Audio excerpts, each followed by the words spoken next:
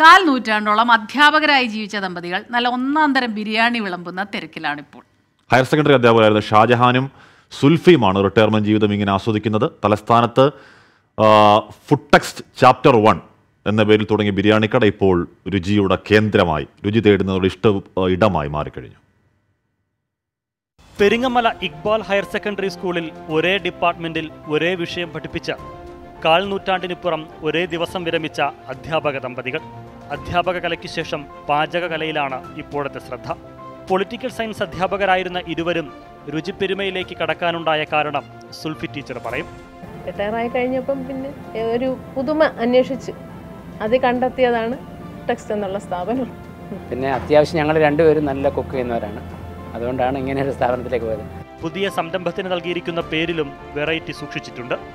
Food text chapter one.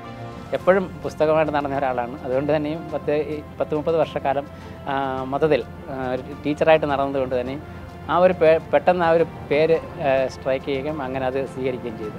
ചുരുങ്ങിയ കാലം കൊണ്ട് തലസ്ഥാനത്ത് ബിരിയാണി പെരുമയ്ക്ക് പേരെടുത്തു കഴിഞ്ഞു ഈ ബിരിയാണി കട. നല്ല ഫുഡാണ് വെറൈറ്റി ഉണ്ട്. സാറിന്റെ ക്വാളിറ്റിയും ക്വാണ്ടിറ്റിയും എസൻസ് ഒന്നുമില്ല മറ്റുള്ള ഇതൊന്നും ചേർക്കാതെ ഉള്ള ബിരിയാണിയാണ്.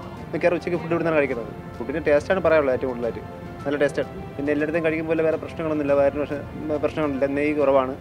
സംരംഭം വിജയിച്ചതിനു പിന്നിൽ ഷാജഹാൻ സാറിന്റെതായ ഒരു കെമിസ്ട്രി ഉണ്ട്. ഏത് എന്നുള്ളതല്ല എങ്ങനെ പ്രവർത്തിക്കുന്നു എന്നുള്ളതാണ് നമ്മുടെ വിജയത്തിന്റെ രഹസ്യം. നല്ല കൺസിസ്റ്റൻസി ടു പർപ്പസാണ് ലക്ഷ്യത്തിലേക്കുള്ള പ്രയാണമാണ് സ്ഥായിയായ പ്രയാണം ഉണ്ടെങ്കിൽ നമ്മൾ വിജയിക്കും. അത് എപ്പോഴും കുട്ടികളോട് പറയാറുള്ളതാണ്. ഞാൻ പ്രാവർത്തികമാക്കുകയും ചെയ്യുന്നുണ്ട്.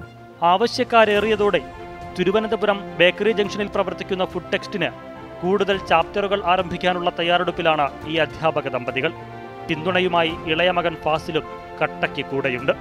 ക്യാമറാമാൻ ജിനു എസ് രാജിനൊപ്പം അധ്യാപക ദമ്പതികളുടെ ശിഷ്യനായ റിപ്പോർട്ടർ അൽ അമീൻ ട്വന്റി തിരുവനന്തപുരം.